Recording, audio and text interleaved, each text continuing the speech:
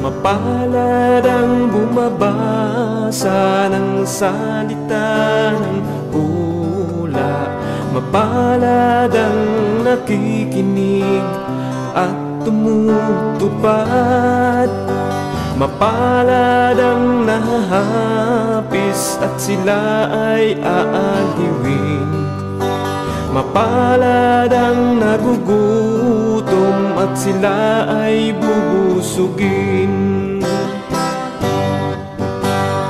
Ang magtiis hanggang sa wakas Sila lamang ang maliligtas Okay, hello, hello, and welcome sa Russia TV. Kasama natin yung bahay talakayan at uh, meron tayong debate na magaganap ngayon, uh, March 2, 2023. At um, first time kong makadinig ng topic na ito sa buong uh, taon ng pagdedebate, uh, either, either written, written or voice call. Napakagandang topic, napaka-controversial at ang topic ngayon na pag-uusapan mga kapatid ay patungkol sa um, kay Pablo. Uh, sabi dito, patutunayan ng ating affirmative na si Pablo ay nakarating sa Bacolod at nagtayo ng Iglesia ni Cristo.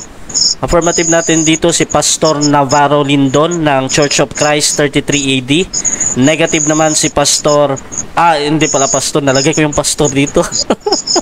uh, isang apologist na Fernando Camacho ng Seventh Day Adventist at inyong moderator ngayon si Rasha Vista ng Catholic ayan. So um, ang ating rules ay babanggitin ko dahil I think um, first time ko din na maka uh, maka uh, ma-moderate si Brother Lindon no. So, rule number one natin, ang lahat ng sagot ay kailangan sagutin ng 20 seconds maximum. Kung titigil ang sumasagot ng at least 3 seconds, magsasabi na ako ng next question.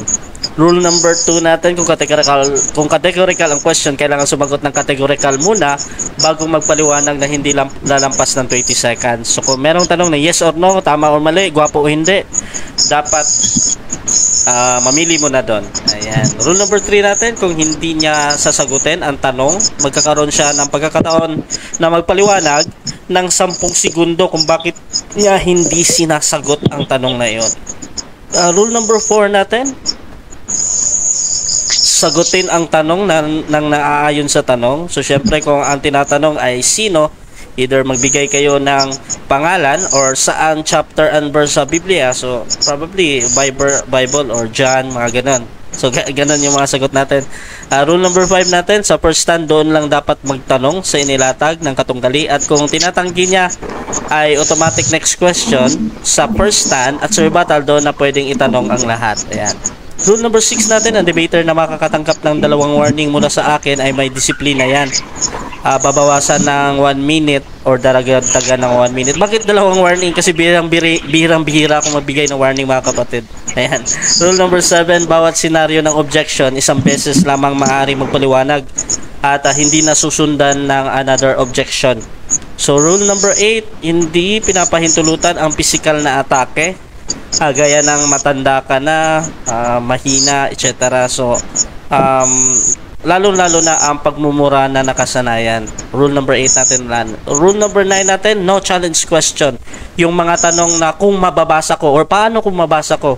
So any form na tanong na ganyan ay automatic nating hindi pinahihintulutan kahit pa sumang-ayon ang kanyang uh, katunggali dito. Uh, rule number 10 natin, uh, ito lamang ang iiral na patakaran bilang pagsasaayos ng debating ito.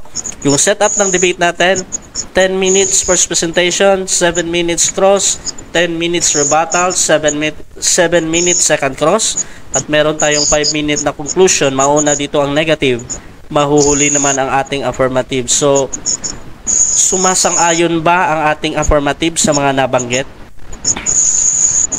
Yes, sumasang-ayon po, kapatid na Russia, sumasang-ayon po. Okay, at uh, sumasang-ayon din ba ang ating negative? Yes, uh, Your Honor, sumasang-ayon po. Okay, yan yung ating kumpirmasyon. At syempre, before natin simulan ng ating debate, gusto ko muna silang magpakilala at ano yung mga posisyon nila sa topic na ngayon at ano yung inaasahan nila ah, sa gabing ito. So unahin na natin si Pastor Lindon. Kilala ka kapatid.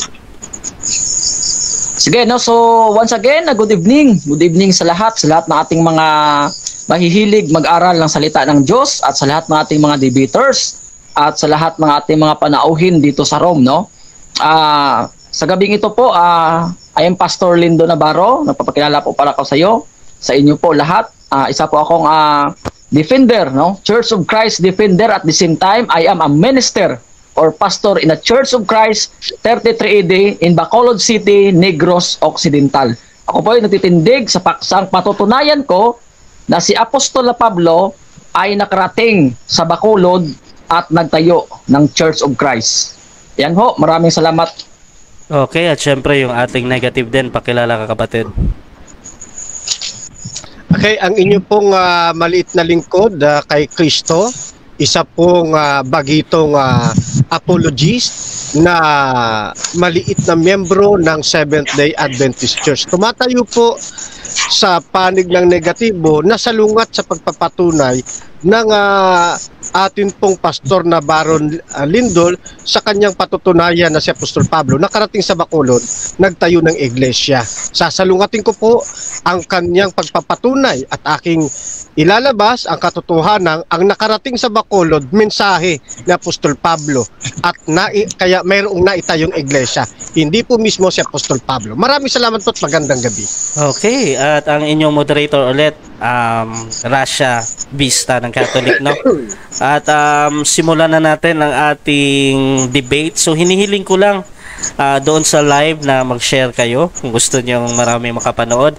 At syempre dito sa loob ng room na dapat kayo ay manatiling tumahimik at ah, mag-unmute at mag-off ng camera ah, upang ang makita lamang sa ating screen ay yung ating mga debater. So yan at um, eto na Ah, sisimulan na natin ang ating debate. Bibigyan ko ng 10 minuto sa unang pagpapahayag si Pastor Lyndon ng Church of Christ 33 AD na sa kanyang patutunayan na si Pablo ay nakarating sa Bacolod at nagtayo ng Iglesia ni Cristo. Your time start now, bro. Sige, no? So, good evening sa lahat. Magandang gabi. At ah naway pagpalain po tayo ng Panginoon sa pag-aaral ng ah, salita ng Diyos, no? Ah, ako po ay ah, sumasalungat sa kasunang kasinungalingan at ibinabandila ang katotohanan. Ngayon po mga kapatid, yung paksang pag-uusap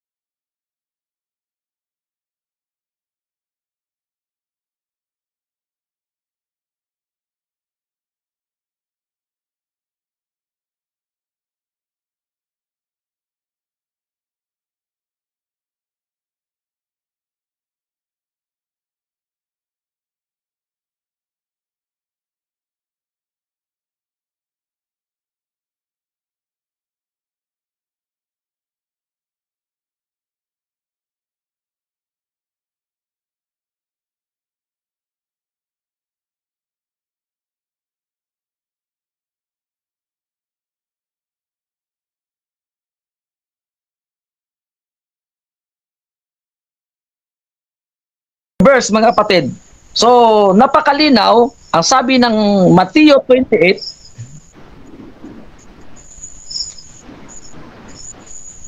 na na-click ko pala yung mute dito sa live bro. Um, pwede bang pakiulit na lang bro? Ah, yung stand mo bro, 10 minutes bro. Wala Ah, pa sige, sige, wala sige, pa lang sige. audio sa ano, kay, ngayon ko lang napansin, pasensya ha. So bro Lindon, 10 minutes bro. Ah, your time start now bro. Okay, no? So, once again, ah magandang gabi sa lahat, sa lahat nating mga giliw natin taga-subaybay, sa lahat ng mga mahihilig mag-aral ng salita ng Diyos, at sa lahat ng ating mga panauhin dito sa Rome, at sa lahat ng mga ah, live na nakapanood ngayon no, sa ating live. So, ngayon mga mga, mga giliw natin taga-subaybay, ang paksang pong pag-usapan namin ng Ginoong Kamatso ay ah patutunayan ko na ang apostol na Pablo ay nakarating dito sa Bacolod. Ha? So pag sinabi kasi nating Bacolod, yan ay ah, hills no or Bacolod, Bacolod, yan tawag diyan, no. So ang sabi po ng Matthew 28, 1920, therefore make disciple all nation. No? Matthew chapter 28 verse 19. So gawin ninyong alagad ang lahat ng mga nasyon. Ang sabi po ng Biblia yan, no? So lahat ng mga nasyon. Ibig sabihin mga kapatid, itong Pilipinas kasama na po diyan sapagkat yung Pilipinas ay nation din, no? So lahat kasi lahat eh. Hindi hindi sinabi niya na ilang mga nasyon, kundi lahat po. Okay. So, ah pansinin po natin mga kapatid, no? Ang inutusan po dito ay ang mga alagad, no? Ah, bagkos sa panahon na 'yon ay hindi pa ang apostol na Pablo ay nag-iiral. Ah, pero pansinin po natin mga kapatid, yung yung gospel po ay nanatili po 'yan hanggang sa panahon ng Panginoong Kristo ay mula sa pang, sa panahon ng Panginoong Kristo hanggang sa panahon ng apostol na Pablo. Oh. So, gawin ninyong alagad ang lahat ng mga nasyon. So, dito mga kapatid, ah pansinin po natin na sa panahon ng apostol na Pablo ay nakarating po siya sa Asia, no? So ito po ang sabi ng banal na kasulatan sa Gawa 20:16, no? Ang sabi ng Biblia dito, ah the next day we will sail from there uh, arrive for Skios the day after that we cross over the Samos and sun following and arrive and Miletus Paul had decided to sail past Ephesus to avoid spending time in the province of Asia, for he was hungry to reach in Jerusalem if possible by by the day of Pentecost, no? So na malinaw ho mga kapatid na ang apostol na Pablo ay nakarating sa Asia. So pansinin po natin, yung Asia po, oh, ang Pilipinas ho ay sako po ito, na ba- bahagi po ito ng ng kontinente ng Asia, no? So sa makatuwid bagay, ang apostol na Pablo ay nakarating sa Asia, mga giliw nating taga-subaybay. So, ah ito mga kapatid, oh, pansin po natin, no, paano natin masasabi na ang apostol na Pablo nakarating dito sa Bacolod? May isang talata po ang gawa. Kasi ang sabi kasi ng Biblia kanina, ng Mateo 28, humayo kayo sa lahat ng bansa. Gawin ninyong mga alagad ang lahat ng bansa. Hindi po natin pwede na ano yan, na i-disobey yan. Yan ay sinunod talaga, no? Sinunod talaga diyan ng mga alagad. So sa makatuwid bagay, yung mga alagad talagang humayo yan talaga sa lahat ng mga bansa. Kaya masasabi natin na ang apostol na Pablo ay nakarating sa lahat na, dito sa Bacolod, mga kapatid. Pansin po natin, oh, Gawa 19.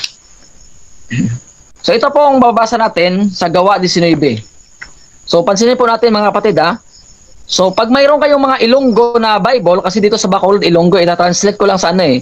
Ita-translate ko lang po sa sa Tagalog no kasi hindi yan si kapatid na Camacho mag medyo ano sanay sa Ilonggo pero ito pong ah, ano yung malinaw ho na na nakasulat dito sa Ilonggo mga kapatid no. So gawa 19 yung sa Ilonggo po ah, binuhatan. Binuhatan po ito yung sa Ilonggo. Nakalagay dito ay binuhatan or gawa. So,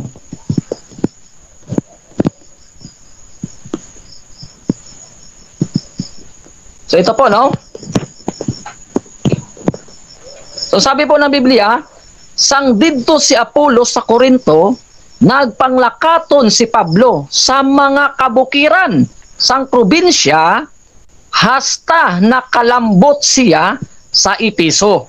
Didto may nakita siya nga mga sumulunod. In Tagalog po, taga-Tagalogin ko po ito, letra por letra.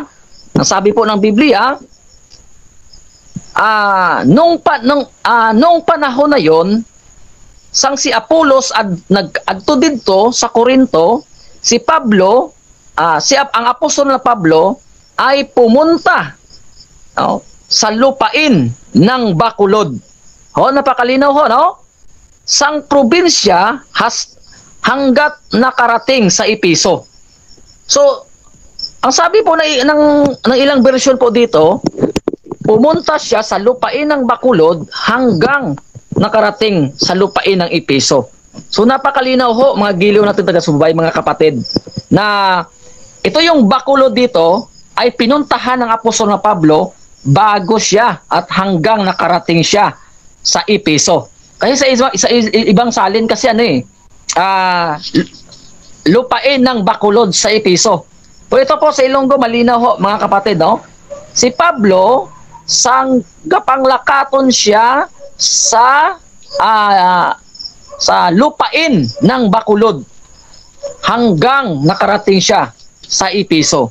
So malinaw ho mga giliw nating taga-subaybay na ang apostol ng Pablo ay nakarating dito sa Bacolod. Kasi ang salitang Bacolod kasi which means is uh, hills po yan no or uh, rough road or buklod buklod buklod yung buklod kasi iba kasi yung buklod na na iniba. Uh, buklod na siperet iba rin kasi yung buklod na ano na parang mga hills siya. Kasi magkaiba kasi yung hills at saka yung mountain no? Yung mountain kasi bundok. Pero yung hills kasi mga giliw nating taga-subaybay yan ay uh, maraming ano maraming rough road maraming bundok-bundok. Kaya nga dito sa Bacolod uh, tinawag yan dito yung bakulod kasi sa panahon noon ito ay mga buklod, buklod, mga baklod, baklod po dito. So malinaw ho mga giliw natin taga-subaybay no na ang apostol na Pablo ay nakarating sa Bacolod. No? Pag sinabi kasi natin, halimbawa sabihin ko, uh, si Pastor Lindon ay nakarating uh, nakarating siya sa beach, no?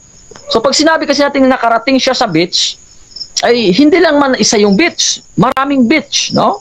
Mayroong beach sa Batangas, no? Mayroong beach sa uh, sa Negros, mayroong beach sa Mindanao. No, mayroong marami, maraming beach. Pag sinabing Bacolod talaga mga kapatid, eh, ayon sa gawa uh, no, 19, no?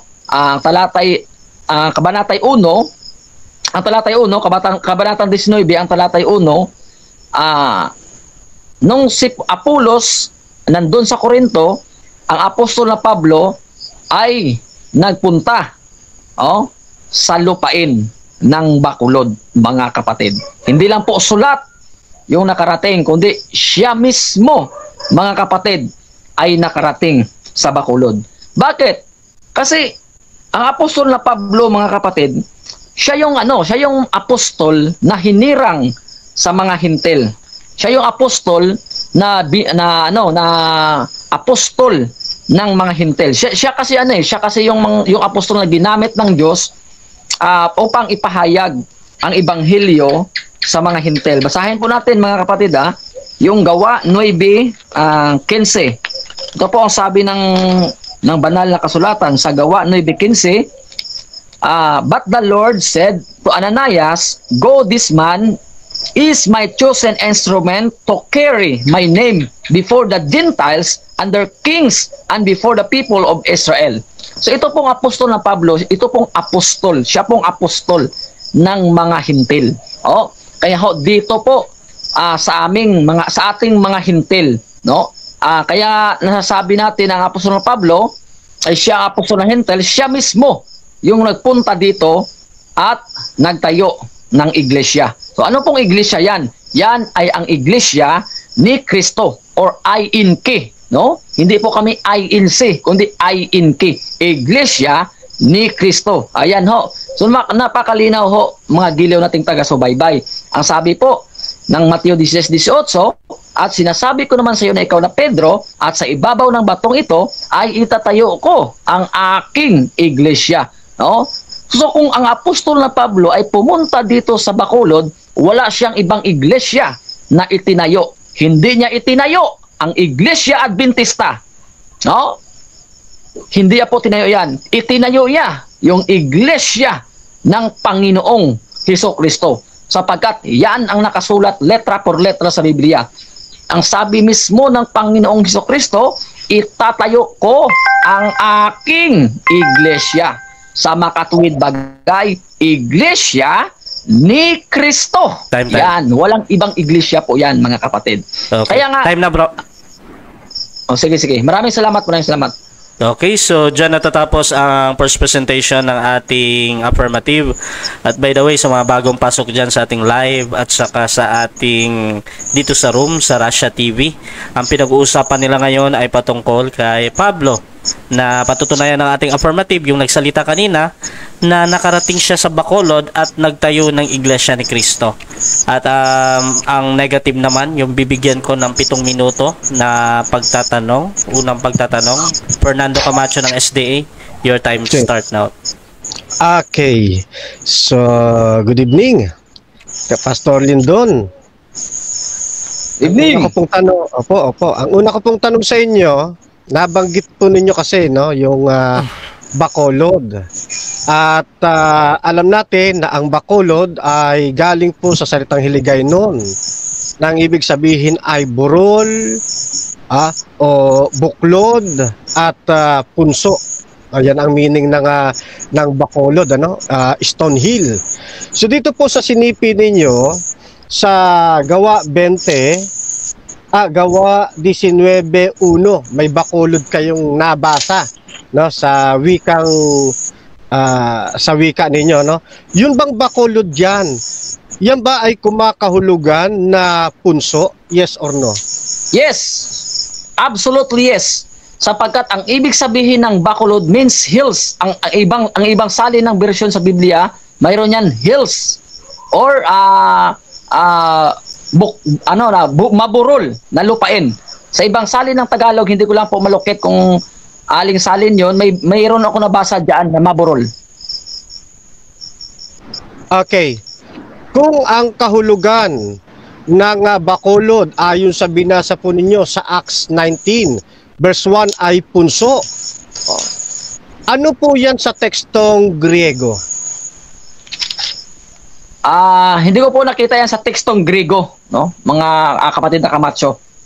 Yung ah tiningnan ko lang diyan yung salitang ah English na hills or ah, sa Tagalog ay maborol, ah, sa Ilonggo ay ah ah ah, buklod-buklod, no? Or bulubundukin sa, sa ibang salin ng Biblia. Okay. Next question. Ah, ang pinagbabasihan po ninyo, yun lamang Bible translation at hindi yung ah, Greek text New Testament tungkol sa Acts ah, 19 verse 1. Tama po ba? Yes, yes. Oo, sapagkat ay yung paksa natin ay ang apostol na Pablo ay nakarating sa Bacolod, hindi po patungkol sa Greek. Okay. Mm-mm. Okay. So yung yung ah, yung Bacolod sa 19 verse 1 saan niya tumutukoy sa mataas o sa mababa o parehong mataas at mababa Ah, mataas at mababa sapagkat yung buklod-buklod mayroong mataas, mayroong mababa. Hindi lang po mataas yan kasi pag sinabing mataas yan, ano yan eh, mountain yan eh. No? Yung buklod-buklod mayroong mataas at mayroong ding mababa. Ayan rough road. Next question. Okay sa tekstong Grego ang nakalagay ay hanoterika yung hanoterika tumutukoy sa mataas hindi kasama yung mababa at mataas kundi sa mataas lamang tinatanggap mo ba yon yes or no? Yes, tanggap ko yun sapagkat yung buklod, yung burol ay may mataas. Kaya sabi ko, yung burol may mataas, may mababa. Next question. Okay. sabi mo kanina, yung buklod tumutukoy sa parehong mataas at mababa. Ngayon, nang dinala kita sa Greek text, tumutukoy lamang ito sa mataas. Kinokontra mo ba yung una mong sinabi? O ah, binabago mo na ba yung una mong sinabi? Yes or no? Ah, hindi ko po dapat kontrahin. No. Hindi ko po dapat kontrahin yung sinabi ko at hindi ko po pwede baguhin yan sapagkat yan ang nakasulat sa Biblia. Pag sinabi nating exclusive mo na Grigo ay hanotorinika, tumutukoy sa mataas, pwede yun sapagkat yung rough road may mataas. Hindi lang po mababa yon kundi may mataas. Next question. Okay, ulit ang tanong. Yung 19, uno ng gawa, yan ba yung buklod? Tumutukoy ba yan sa mataas, mababa, o tumut ah, sa parehong mataas at mababa, o tumutukoy lamang sa mataas? Alin po sa dalawa ang pamimi pagpipilian po ninyo? Tumutukoy yan sa mataas pero hindi nangangahulugan na pag sinabi nating buklod-buklod, parehas mataas. Kasi langit na yun pag mataas, no? Mountain yan pag mataas. O pag subukan mong dumaan ka sa rough road, no? Paunda, padala lundag-lundag ka doon kasi may mataas, may mababa. Next question. So pasok yung Okay. mataas mo kapatid. Next question. Oh, sandali, next question na po. Mm-mm. Okay, next question. Okay. So, nang makarating si Pablo doon sa ah, Bacolod, at yan po ang tinutukoy ninyo ang Pilipinas. Ano po? Sino po ang kasama niya na pumunta sa Pilipinas? Ang mga alagad ay simple sa panahon noon, hindi naman ang apostol na Pablo makarating kung siya mag-isa. No? Kasi na- napakalinaw ho, mga giliw nating taga-subaybay in Acts chapter 27. Sumakay siya. O, sumakay siya ng ano, ng daong. O, nalunod pa nga siya, naranasan pa nga nilang malunod. So hindi pwede makarating siya na sila mag-isa. Hindi siya hindi siya pwede sumakay sa bangka. Next question. Okay, next question. Sino-sino sa mga alagad ang nakasama niya? Isa sa mga alagad na kasama niya ay si San Lucas po. O, sapagkat si San Lucas po yung sumulat ng gawa. O, saksi po yan si San Lucas kaya binasa natin in the book of Acts. Kasi San Lucas ang sumulat ng gawa. Next question. Okay. Nang magtata kapag nagtatayo si Apostol Pablo sa mga ah, kanyang pinupuntahan, nagbibigay siya ng mga sulat. Doon ba sa Pilipinas, dito sa Bacolod sa Pilipinas, mayroon bang ipinadalang sulat si Apostol Pablo ah, na naka-address ah, tulad halimbawa ng ah, Oh, sulat para sa mga gawa, etc. Sulat sa para sa Bacolod. May ganun bang ah, ah, talaan? Ah, hindi pwede na ipinadala ng apostol na Pablo sapagkat ah, siya nga ang mismo nag, nag- pumunta rito. Time na bro, time Kasi na bro. pag, pag sinabi na kasi Time na, bro, time na, bro. Time na daw po. Time na bro. Okay. oh, pwede matapos lang. hindi, hindi, hindi. Seven minutes running time kasi yan. Ah, hindi po pwedeng ibuo. So, um, dyan natatapos ang unang pagtatanong ng ating ah, negative at dako tayo sa kanyang first presentation. Pero bago yan, shoutout muna sa lahat ng nasa live. Lalo-lalo na si Aladin Gregorio. Lagi-lagi yan. Si um, ah, Eugene Martinez. Ayan, maraming salamat sa pag um, ano ah, pag ah, sabi na wala palang audio kanina. Ayan si Johnny Kapangpangan, sabi niya good evening sa lahat. Si Leono Brooks, George Carlin on religion. Uh, shoutout din kay Patrick Gonzalez. Um, lagi nating kasama yan si Dawood Islam. Ah, sabi niya, haha, natawa ako doon sa si Pablo ay nakarating sa Bacolod. Lindon, saan mo nakuha impormasyon na yan? Ah, sabi ni Eugene Martinez, Hilonggo gani, hindi ko marinig. Ayan. At ah, shoutout din kay ah, Charwin Somali Tagwalan. Sa Epeso, dili sa Bacolod, buguyan nimo. Okay. Ah, Bisaya 'yon. So, shoutout din kay Gerson Malyones. Ako taga Bacolod, Negros Occidental. Ayan, shoutout sa inyo mga taga Bacolod at ah, kayo yung bida ngayon. So, tuloy-tuloy tayo mga bro at um, bigyan ko ng 10 minuto sa unang pagpapahayag bilang negatibo naman si Fernando Camacho ng Seventh Day Adventist. Your time start now, bro. Okay, isa pong ah, mapagpala at magandang gabi sa inyong lahat mga kapatid. At ah, muli ay ah, hangad po ng inyong maliit na lingkod kay Kristo na ang Diyos ang patuloy nating maluwalhati. Siya ang ating maitaas at mapapurihan sa pag-uusap pong ah, ito. At uh, syempre, binabati ko rin po ang lahat ng nasa comment section, Adventist man o hindi Adventist. Ano, at ganun din sa loob po ng aming ah, platform na mamaya po ay iisa-isahin po ah, namin. Ano? Kaya ako po ay tumatayo, mga kapatid, sa ah, isang kalagayan na salungat sa tinitindigan ng kapatid na Lindol. Ah, Lindon, I'm sorry. Ano? Na sa kanyang pagpapatunay na patutunayan niya na si Apostol Pablo ay nakarating sa Bacolod. Yung Bacolod pong tinutuko, yung pong Pilipinas. Ano ho? At nagtayo ng iglesia ni Kristo, yun pong INK. Kaya sa panig ko naman, ang aking ah, position dito, hindi po nakarating ng personal si Apostol Pablo sa Bacolod kagaya ng atin pong narinig sa ah, affirmative.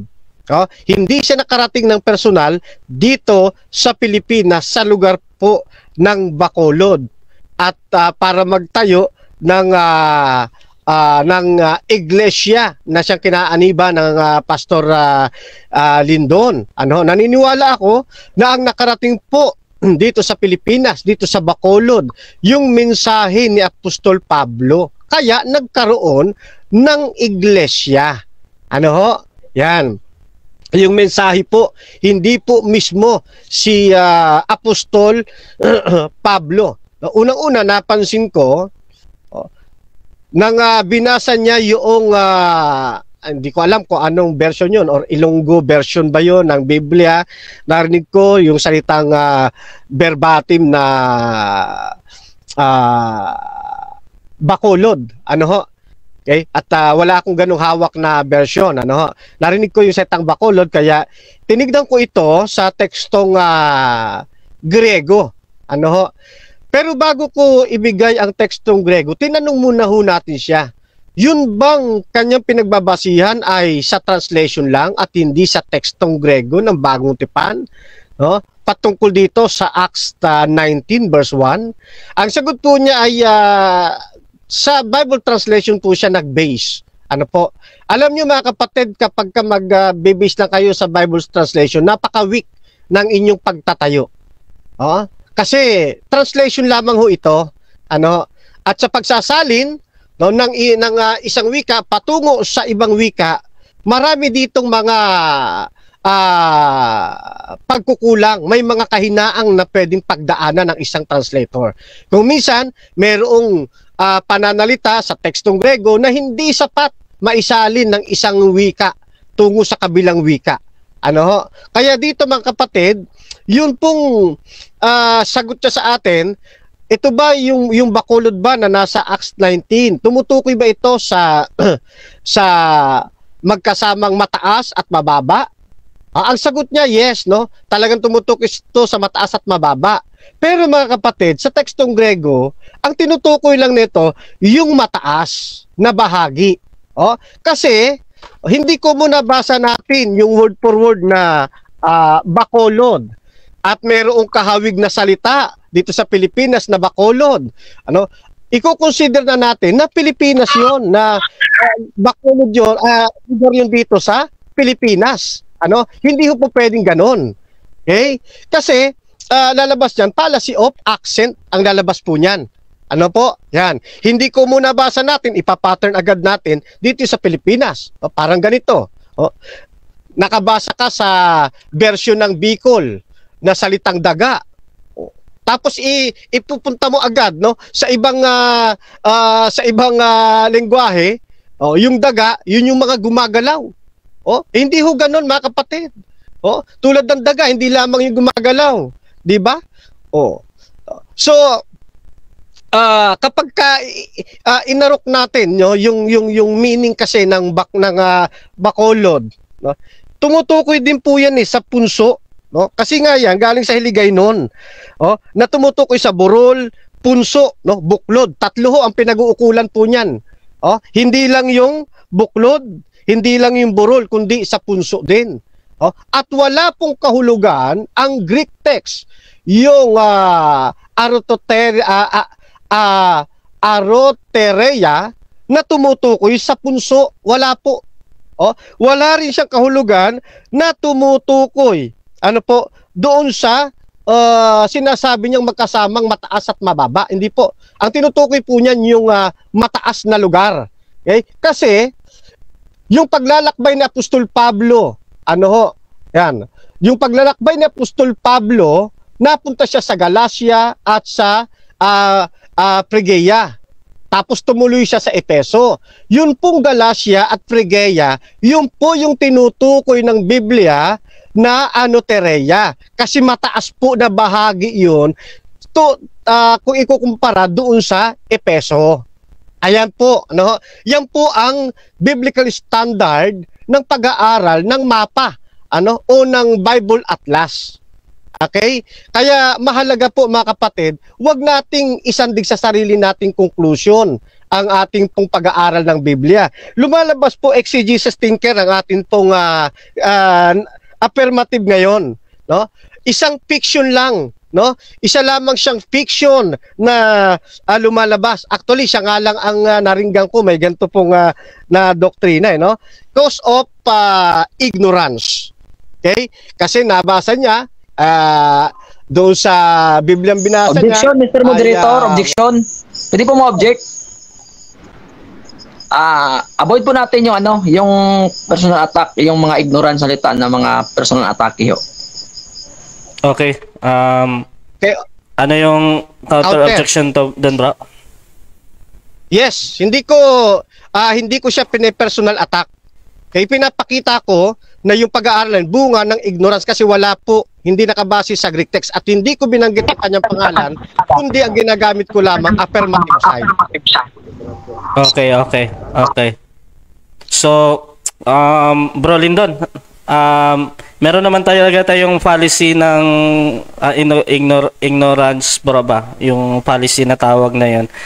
At uh, nakikita ko naman na hindi ikaw yung direktang sinabihan niya na ganon. So, I think ginamit naman niya doon sa um, meron kasi policy na ganon eh, natawag na ganon. So, um, tuloy tayo bro ha. 3 minutes. Pasok. Okay. Yan. Uh, isa pa, yun pong uh, dito sa Pilipinas, no, yun pong uh, buklod no yung pong uh, Stone Hill, yung burol, yung punso na tumutukoy doon sa Bacolod. Ano po? Yan po ay ginamit lamang 1770 AD. Napakalayo po ng agwat. Hindi pa ito ginagamit yung salitang buklod, ay uh, yung salitang uh, bacolod. Hindi pa ito ginagamit during first century. Ginamit lang ito 1770. Ano ho? Yan, no? Diyan po ito ginamit no nang uh, nang uh, yung kapisanan doon po sa lugar na yon ay nakapagtayo na ng kanilang uh, samahan ng kanilang ng kanilang community. Oh at dahil nakapagtayo sila doon sila uh, naitayo sa Mabatong Burol. Kaya 1770 tinawag nila itong Bacolod na ngayon ay distrito ng Granada. Ano? Alinsunod sa mga pag-aaral. Uh, pero mga kapatid, no, uh, during that time, ano ho, si Apostol Pablo patay na. O 1770. Kasi diyan lamang natawag po yung Bacolod eh. Kaya imposible si Apostol Pablo mapunta sa Bacolod at pangalanan niya yung napunta niya na Bacolod kung sa Pilipinas siya napunta. Kasi wala pang ganung salita. Oh, doon sa uh, Pilipinas ng lugar na ito. Okay? So lumalabas 16th century lang, ah, ah 18th century lang nagkaroon po ng termino na Bacolod dito sa Pilipinas. Kaya yung Bacolod na nasa Biblia na nababasa po niya, hindi po yung tumutukoy sa Pilipinas, kundi sa mataas na bahagi ng pinanggalingan ni Apostol Pablo. No? I-search niyo po mga kapatid, 'di ba? Yan. No.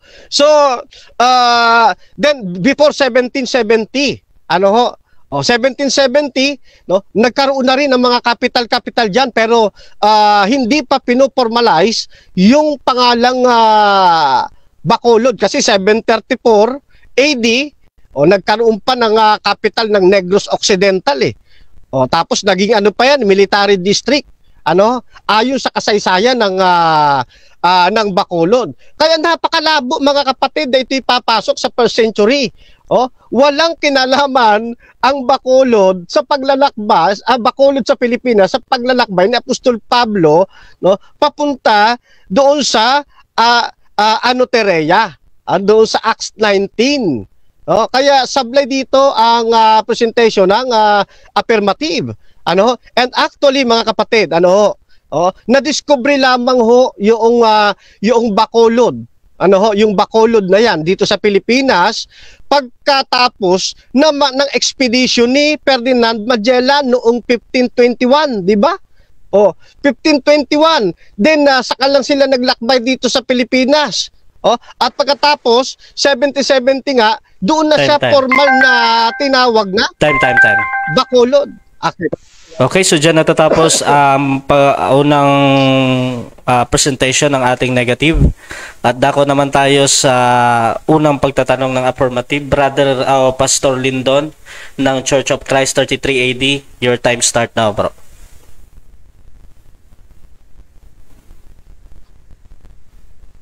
Yes, and po. Sandali kayo nakamute ako, okay? Sige, bro. So, Mission. okay, no? So, yung una kong tanong, ah, Brother Camacho, ah, inaamin mo ba na ang salitang hills ay bakulod? Yes or no? Ayon sa inyong nabasa, yes, no? pero yan ay galing sa salitang arotereia na sa tekstong Grego tumutukoy sa mataas na lugar. Kaya yung Acts 19 hindi tumutukoy po yan sa Bacolod dito sa Pilipinas kasi 18th century lang nagkaroon ng formalized na pagtatawag ng lugar ng Bacolod dito sa Pilipinas. question. Eh, per century yan. Next, question. okay. Ang sabi mo kasi kanina, yes, na ang hills ay bakulod. So malinaw ang sabi ng Biblia na ang apostol na Pablo, ah mayroong binanggit diyan na hills, no? Or bulubundukin. So, kung hills yung bakulod, inaamin mo ba na ang apostol na Pablo ay nakarating sa bakulod? Yes or no? Yes, nakarating siya sa Bacolod. Pero yung sagot ko kanina ng yes, sabi ko, doon sa iyong nabasa na translation, may nakalagay nga diyan. Pero sa Greek text, katulad ng paliwanag ko, yan ay uh, anotereia. Tumutukoy sa mataas na lugar, hindi sa Bacolod na nasa Pilipinas. Next Translation question. lang po kasi pinagbasihan po ninyo. Okay. So, next question. Kasi inaamin mo naman na, ano, premise po ito ng tanong ha, inaamin mo naman na ang apostol na Pablo ay nakarating sa Bacolod. It doesn't follow, no? So, ang salitang hills ba o Bacolod ay mataas? Yes or no? Ah, Tekstong Grego na, ipinag, na pinaghanguan ng salitang Bacolod, dyan po sa binasa ninyo, ay tumutukoy sa mataas na bahagi. Eh, hindi tumutukoy sa mataas, ma- pinagsamang mataas at mababa, hindi ho. At inuulit ko, yun pong ah, katawagang Bacolod dito sa Pilipinas, 18th century lang po lumabas, hindi first century. Next question. Kaya napakalabo. Okay, next Na- question. Next, Next question. ah. Ano ang pagkakaiba ah, anong pagkakaiba ng mataas kaysa hills? Sagot? Pagkakaiba, kung sa tekstong Grego mo ba ako tinatanong, Ah, hindi po sa tekstong Mataas Grego, hindi po, Time hindi stop, po time stop, time stop, time stop muna. Ah, time stop. Ah, hindi Nag- po sa tekstong Grego. Nag-uusap kayo na. Ganito, ah bro Fernando, gawin mong um, ano bro, um, ah, sorry, sorry. Yes. um, clarification pero hindi natin mapipilit yung kabila ha. So ano muna yung clarification mo bro? Doon sa tanong niya. Oo, ah, malinaw na po na yung kanyang tanong ay hindi po sa tekstong Grego, kundi Okay. doon lamang sa translation na kanyang binasa. Okay, so ready ka nang sumagot dun bro? Apo, sige po. Sige. So 20 seconds bro. Sagot. Okay. Okay. Kung ang contextual ng ating kukuning kahulugan ay pang-Biblia, hindi po yan tumutukoy sa mataas at pinagsamang mataas at mababa. Kundi tumutukoy lang yan sa mataas na dako. Kasi coming from the word anotereia sa tekstong Grego.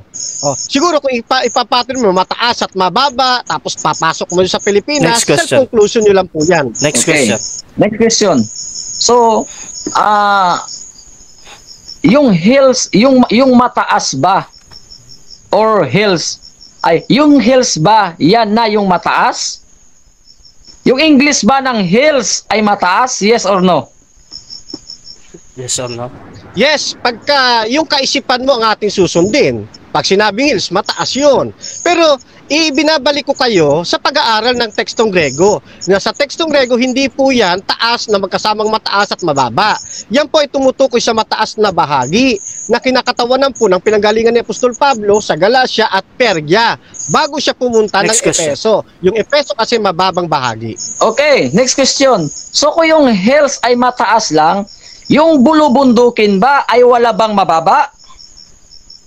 Yes or no? Ah, meron sa iyong ah, kaisipan, meron yung bulubundukin eh, no? Pero ang sinasabi ko sa iyo, according to biblical concept, no, na yung pinaghanguan mong Acts 19 verse 1, ang tinutukoy niya roon yung mataas na bahagi. Ano, yung part ng Galacia at Pergia na kanya pong pinanggalingan bago siya Next bumaba question. sa Epeso. Yun ho ang Next question. ang ah, nasa Biblia. Okay, next question. Ngayon, inaamin mo na pala oh, na yung hills ay mayroong mababa. So, ibig bang sabihin yung hills ay hindi lang mataas, kundi mayroon ding mababa? Yes or no? Yes, sa kaisipan po ninyo, pero kapag ilalapat natin uli sa Biblia, hindi ho papasok yung inyong false idea. Kasi ang tinutukoy lang ng Acts 19, yung pinanggalingan ni Apostol Pablo na Galacia, Pergia, bago siya bumaba ng Epeso, hindi kasama dyan ng Pilipinas kasi yung, yung ah, Bacolod ay 18th century lang, nabuo ang pangalan. Okay, next question. So, sabi mo kasi sa pag-isipan ko, hindi sa pag-isipan ng Biblia. Punta tayo sa kaisipan ng Biblia. Mayroon bang kaisipan ang Biblia na tinutumutukoy na ang hills ay mataas lang at walang mababa? Saang talata mababasa na ang hills ay mataas lang at walang mababa? Dito po sa pinagbabasihan ko yung ginamit ninyong talata Acts 19, no? Ah, verse 1, yung ah, ano ah, ano tereya. No, mataas pong bahagi po 'yan. Ano po sa mataas na bahagi niyan, oh, bago kasi bumaba siya sa Epeso, doon muna siya nag ah, ah, nagpunta sa Galacia at Pergia na kanyang pinanggalingan. Gawa 1823 ang ah, isa pang ah, ah, reference po yan. Next question. Oh, at hindi yan tumutukoy. Mhm. Okay, next question. So, ang salitang Greek na anoteri, anotinirik, anoteria, yan ba ang ibig sabihin ay upper or hills? Okay. Ang ibig sabihin po niyan ay upper, island, interior. Yan po yung apotereka. Ano ho? Na pinanggalingan po ng salitang binabasa po ninyo. Isa po yung adjective, accusative. O, hindi po yan pangalan ng lugar. Kundi pagkakakilanlan Next kung question. saan siya nanggaling. Okay. So ngayon, inaamin mo naman pala yung anotornekeia ay may upper and lower. Ngayon, inaamin mo ba na ang, ang sagot mo ay nagka-contradict? No, wala naman ako sinabing lower eh. Ikaw lang ang nag inject ng lower. Ito nga binabasa ko na sa'yo yung, ah, yung analysis at saka yung morphology. No? At uh, Gingrich ng ah, salitang uh, anotereya na pinag-uusapan natin. Next question. Upper, no? Okay, next question. Okay. Okay, so basahan kita ng tala ah, may ipakita ka bang talata na nagsasabi Time, time, time. Ah pwede po ah pasing Hindi, hindi na, ah, hindi na. pahabol ng isa? Hindi, hindi, hindi. Running time talaga yan, bro. Okay. So, dyan natatapos ang ating first stage ng debate. At shoutout muna sa ating nasa live, no? At uh, before natin puntahan yung ating rebuttal, shoutout muna dyan sa ating nasa live. Um, sabi ni Nonyal H. John Chris, ang alam kong mataas bulkan ng Kanlaon sa Bacolod. Okay, at sabi naman ni Gerson Maliones, mataas ang Don Salvador kaysa Bacolod, hills ni Vice Ganda. Okay. At um, shoutout din kay Benchi Popoy Ah, sabi niya, ha ha ayos, nakarating si Bako, sa Bacolod si Apostle Paul. At ah, sabi naman ni Evangeline Tao Taoing, palakpakan Fernando Camacho panalo. Okay, at uh, shoutout din kay um, Maliones, sabi niya marami kaming tubo dito.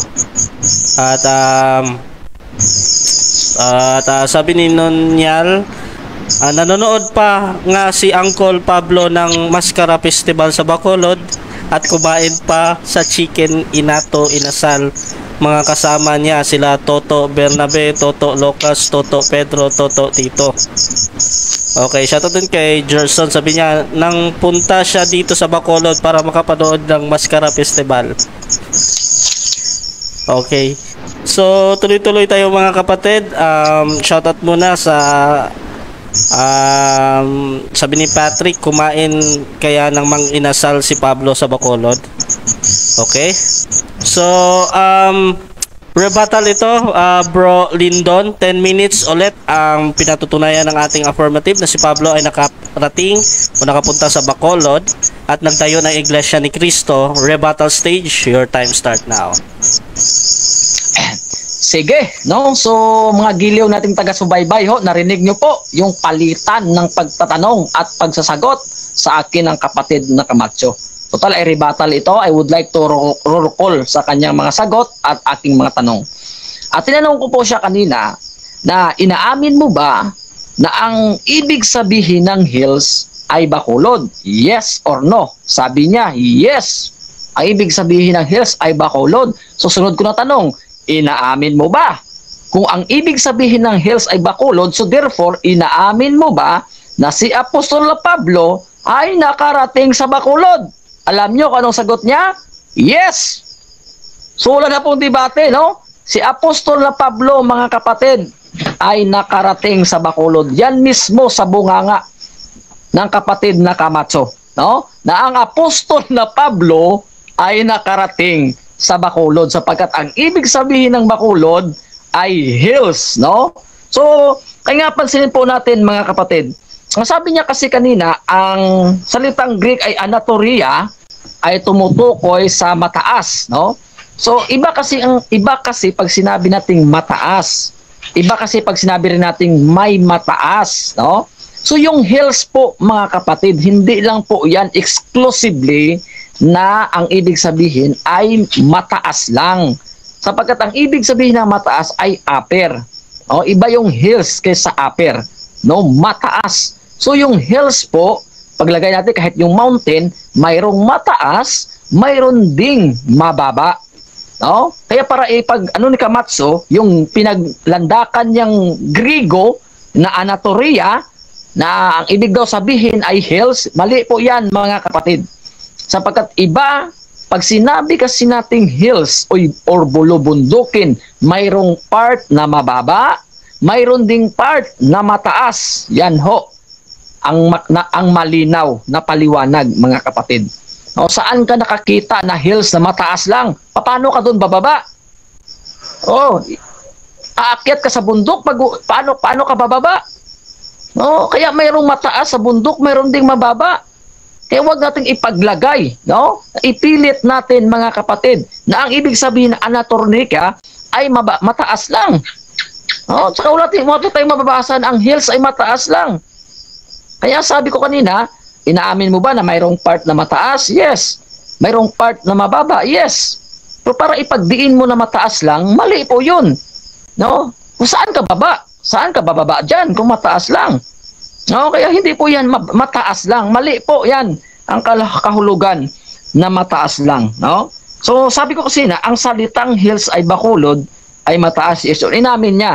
Yes, no? So, tinanong ko sa kanina, so inaamin mo ba na nakapunta ang apostol na Pablo sa hills or bakulod? Sabi niya, yes, no? So malinaw ho, mga gilaw nating taga-subaybay, na yan mismo lumabas kahit i-record po natin uh, sa, sa video, no?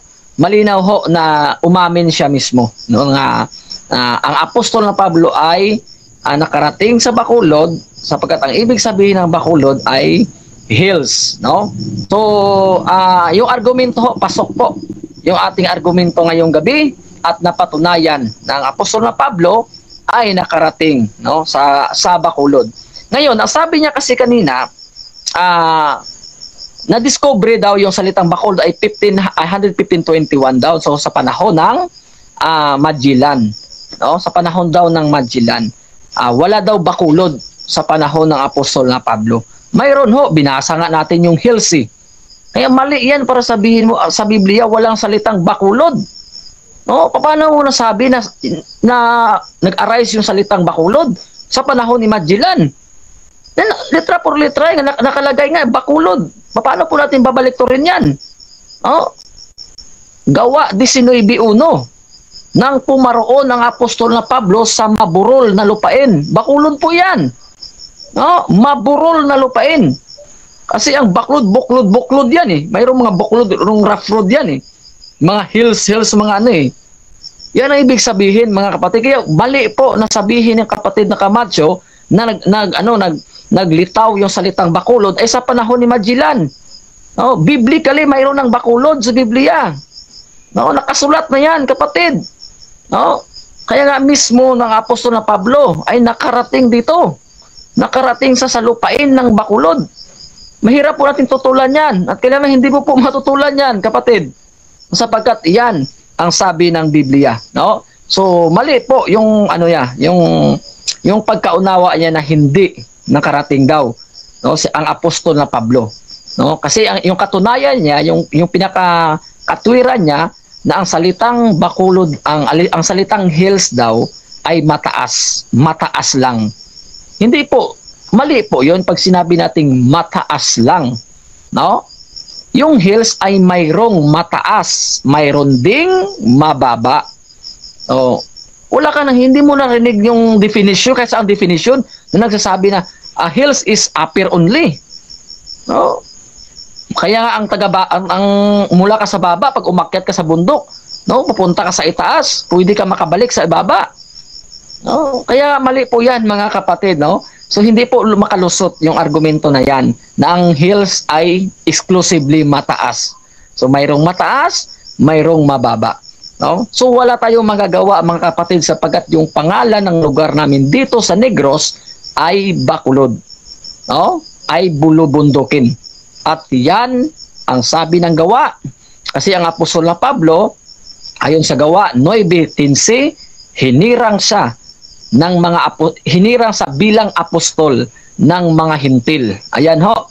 So tayo ay kabilang sa mga hintil na hinirang ng ap- na, na naging instrumento sa ating buhay ang apostol na Pablo sapagkat ang sabi po ng Matthew 28:19 to 20 go ye therefore and teach all nation. No? Humayo kayo sa lahat ng nasyon. O mga alagad po yan mga kapatid. O pag hindi humayo ang, ang mga alagad dito pambihira hindi tayo nakaano ng ng ibanghilyo dito. No? Hindi tayo nakarinig ng ibanghilyo kaya nga utos po yan.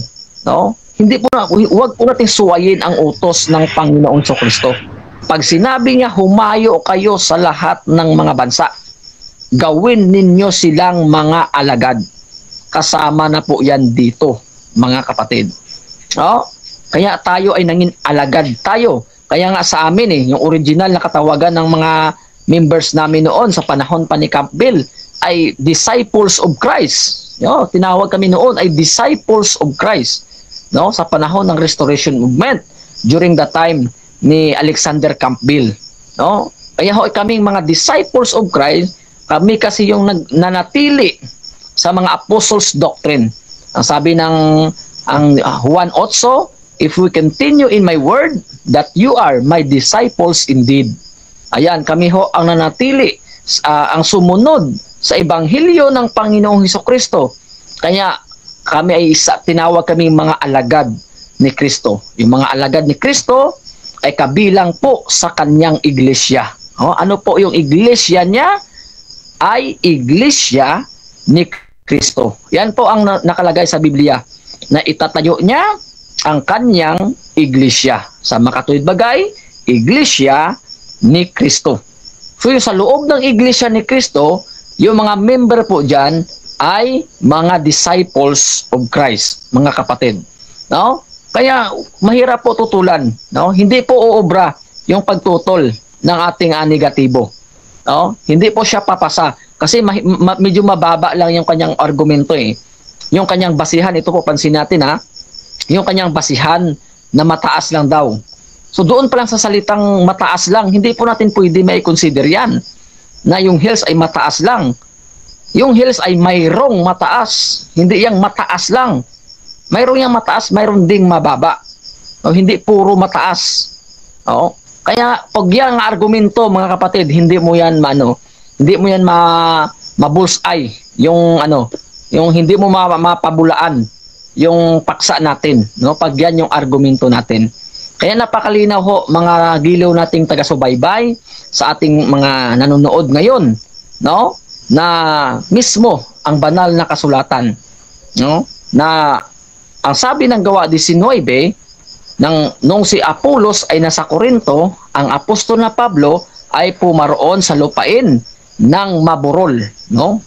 Mabulubundukin, no? Bakulod po 'yan, mga kapatid, no? At 'yan ay hindi matutulan. No? Pag sinabi diyan na ay pumaroon siya sa Davao, eh wala tayong magagawa. Pero hindi sinabi na pumaroon siya sa Davao. Ang sabi kasi ng iba, bakulo daw 'yan sa Jerusalem sa ano sa Episo.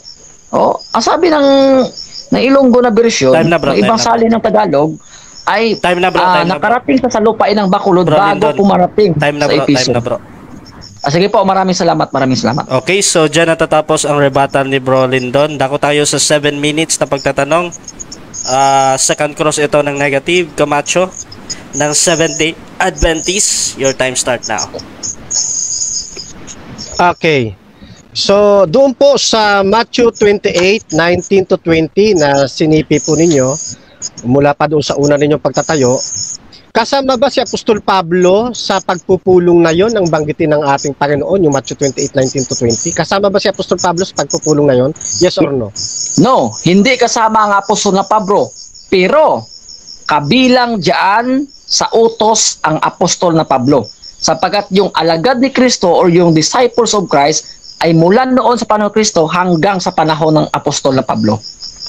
So, ah, literally or physically, hindi siya kasama doon, hindi naabutan, pero ah, by commandments, kasama siya sa tumupad yun ng utos. Next question. Okay. Doon sa Mateo 28, 19 to 20, hindi kasama si Apostol Pablo. Ang sabi roon sa mga sinabihan, oh, ipangangaral ninyo yung Ebanghelyo sa buong sanlibutan. At tuturuan ninyo sila oh, ng lahat ng mga itinuro ko sa inyo. Kung si Pablo ay nakarating, oh, sabihin na natin, si Pablo ay nakarating dito sa Pilipinas, sa Bacolod. Kailan nagkaroon ng unang iglesia? Ang ah, ang ah, Bacolod. Sagot. Nagkaroon yan nung pumunta dito ng Apostol Pablo. Kaya tinawag kaming Church of Christ 33 AD.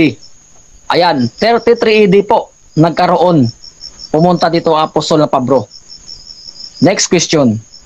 Kaya kung 33 AD nagkaroon na ng ah, kauna-unahang church sa Bacolod dito sa Pilipinas, mayroon ka bang aklat pang kasaysayan na may pipresenta ngayon bilang pagpapatotoo maliban sa Biblia na ang unang church na naitayo sa Bacolod dito sa Pilipinas ay ang ah, Church of Christ 33 AD. Ah, pag-aklat po natin yung basihan mga kapatid, hindi na po natin mailokit yan sapagkat sobrang tagal. Objection Mr. Moderator. Sa sobrang tagal. Stop Okay. mo na. Okay, anong objection natin negative? Ang tanong ko ay ah, meron ba siyang maipipresenta? Oh, so naghahanap ako kung meron o wala. Sabi niya kung meron, sabi niya kung wala, wala. Okay. Um, Bro Lindon, meron kang counter objection bro or ready ka nang sumagot dun sa meron or wala daw? Sagutin ko na lang po, sumagot po ako na walang Okay. basihan na aklat. Kung aklat 20 yung seconds bro natin. kasi na ano ka doon na interrupt. Sige bro. Mm. So, ganito yan. Hindi porket na aklat, mayroon kang aklat, tama ka na. No? Hindi lahat ng mga may aklat, tama. No? Pwede yung aklat-aklatan lang yan. No? Kaya hindi po kami nagbabase sa aklat ng tama. Gawa-gawa lang yan ng tao. No? Kaya nga sa sobrang katagal, mayroon yan. Pero sa Katagalan, biruin mo 33 AD pa. Next so matagal question. na yun. Next matagal na na bulok. Next Okay, question. Next question. Mm, next question. Okay. Oh. Ang hahanapin ko sa iyo hindi basta aklat. History book. Yan. Or encyclopedia. Or any uh, standard reference na nagsasabing ang unang naitayong church sa Bacolod dito sa Pilipinas ay yung iglesia na inyong kinaaniban. Pakibigay po ninyo ng titulo ng aklat, pahina, at kung kailan ay publish.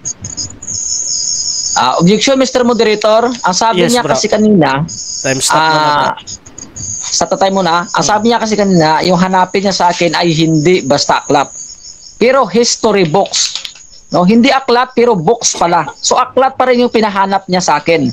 Okay. No? So ano ba talaga hahanapin mo sa akla, sa akin? Aklat o hindi aklat?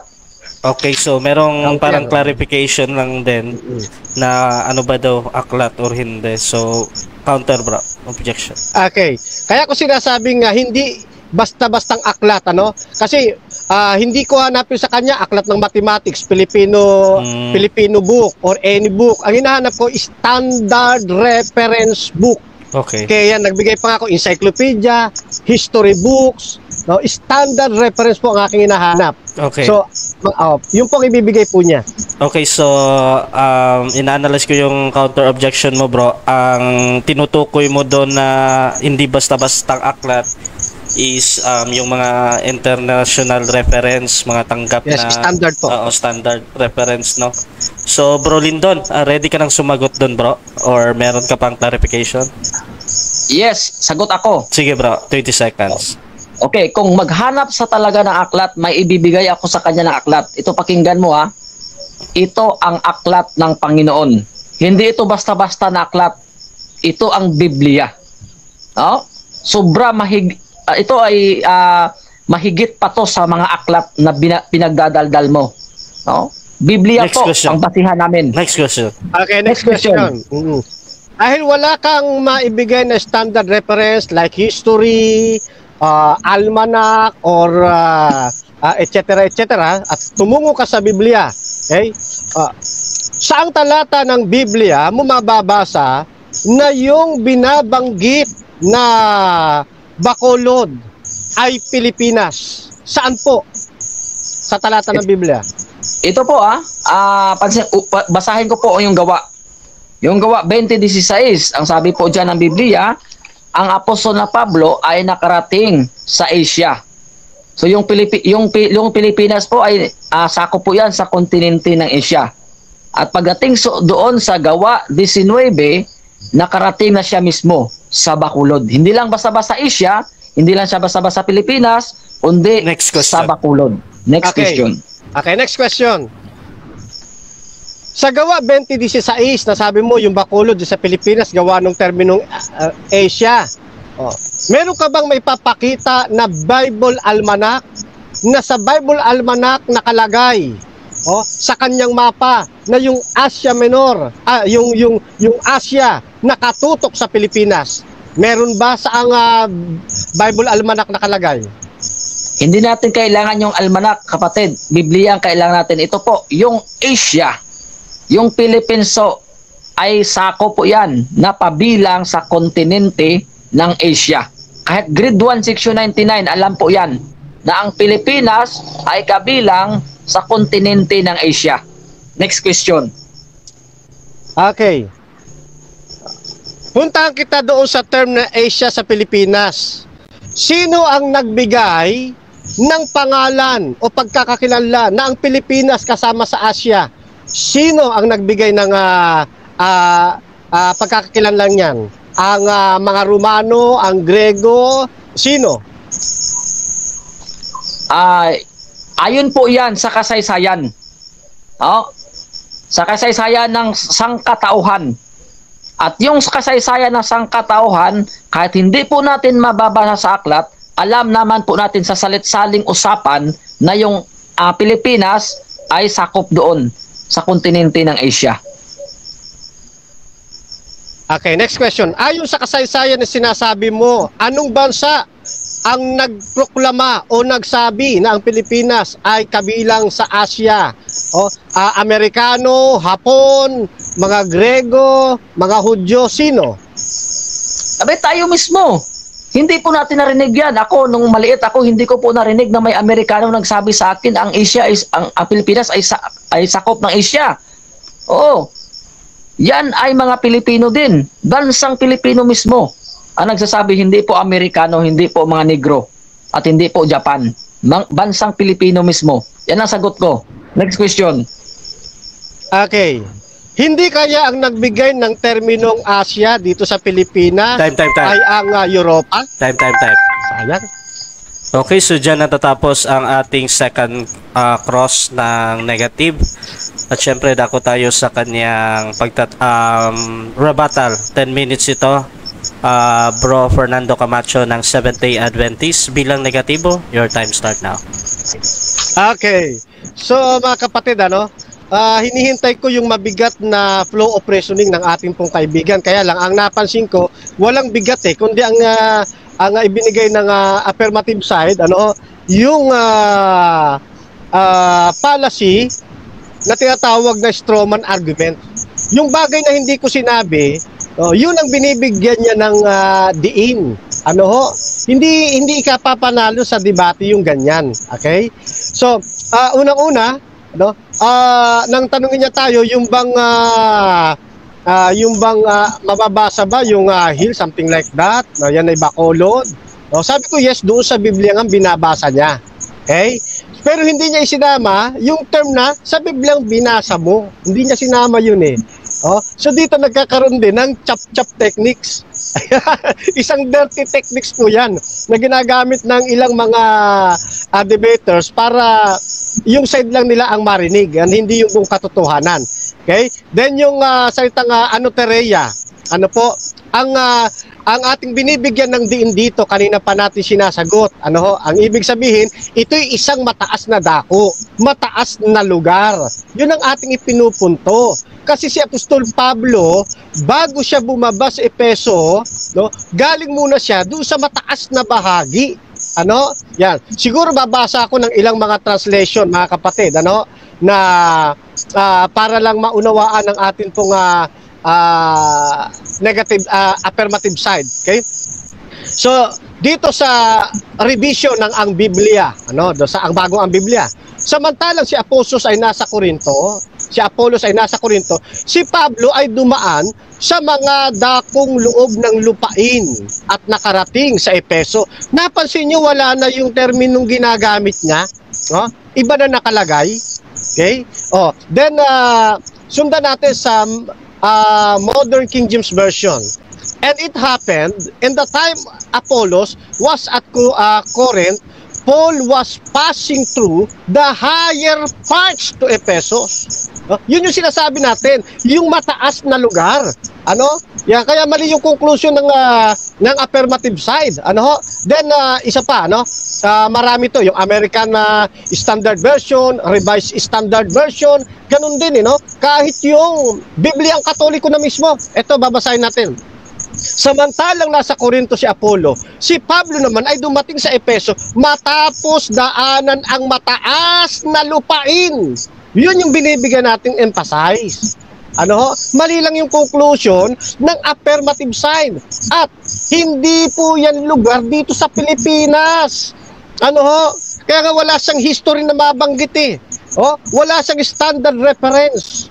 Ang puhunan lang niya, laway, kwentong barbero, walang bati- basihan. Ano po? Oh, ipinunta niya daw sa Biblia. Ano? Oh, et ah, hinokus-focus niya yung salitang Asya. Oh, kaya hinahanapan ko siya ng ano eh, ng biblical almanac eh. Oh, kasi sa almanac makikita natin, sa Bible almanac makikita natin ano ba yung tinutukoy na Asia kasama ba Pilipinas doon? Ha? Hindi ho. Ah, ang tinutukoy lang na Asia doon sa first century ng New Testament, ito ay referring to the Roman province of the far western side of Asia Minor. Ito yung nakalagay sa sa ano, no? Oh, sa katotohanan. Ano? Kasama rito, no? Yung ah, Mesia, yung uh, Paigea, Lydia, no? Yung ah, ah, Saraya, no? In the south, sabi pa nga rito. Oh, ayan. Ah, ano pa? Ah, the wealthy capital of the province was port city of Ephesus. Hindi kasama Pilipinas. Oh, wag mong isama ko mo na rin ko mo na katunog din yung yung Pilipinas na kasama ng Asia. Sasabihin mo Pilipinas na. Mali. O kaya ka tinatanong ko ta, si sino ba nag ano niyan nag gumawa ng ng ah, ng titulo na yan na Asia ang Pilipinas? Ah? O, sino ba? Mga Grego ba yan? Hebreo ba? Ah, si, sino ba? Amerikano ba? Actually, hindi niya alam eh. No? Ang gumawa niyan mga kapatid, ano, yung ah, grupo ng nag-expedition dito sa Pilipinas. Ano po? Sila po ang may ano niyan. No? Sila ang ah, nagdeklara niyan. No? Ito pag hiningi sa atin yung ah, yung ah, kasaysayan ano. Ito babasahin ko po. Hawak ko ngayon ang ah, historical ah, ah, issue kung bakit tinawag na East Asia, no? Itong atin pong ah, lugar. No? Ito ay hindi biblical. Merong isang grupo, no? Merong isang bansa na, na nagdeklara nito. Oh, yan. Oh, maging kay Professor Gregorio F. Saide, isang historyang Pilipino. O sinasabi niya, taga Europa. Oh, ang siyang nag-imbento, ang gumawa ng katawagan dito sa Pilipinas. Kailan yan? Per century? Hindi. Ano ho? Hindi. Pagkatapos lang oh, ng expedition ni Magellan sa kalang tinawag na Asia, ang Pilipinas. Oh, kaya during per century, ang Pilipinas hindi itinuturing na Asia. Ang tumuturing lang sa Asia, sa, na Asia ang Pilipinas, yung pong nagdeklara, yung sumakop sa atin. Ano? Sila lang. Nawala itong kinalaman sa Asia na nasa Biblia. Oh, kaya ah, dito no hindi babagsak ang ah, ah, ah, hindi babagsak yung ating katwiran. Kundi bumabagsak dito, no, yung katwiran ng affirmative side. Walang basihan eh. Oh, samantalang tayo kumpleto, may Biblia, may Greek text at meron tayong mga external evidence. Oh, kaya yung katotohanan nasa atin mga kapatid eh. Hmm. Ah, di ba? Oh, ngayon. Tinanong natin eh, kailan nat nagkaroon ng ah, ng kauna-unahang ah, pagkakatatag ng iglesia dito sa Bacolod, dito sa Pilipinas? 33 AD daw. O palibasa nag-asabasa niya yung Asia, mali nga eh, di ba mali? Ito sa kasaysayan, ha? To, eto, ang kauna-unahang iglesia na natayo sa Bacolod dito sa Pilipinas ay ang Catholic Church. Yan ang katotohanan niyan. No? Yung, yung Catholic Church.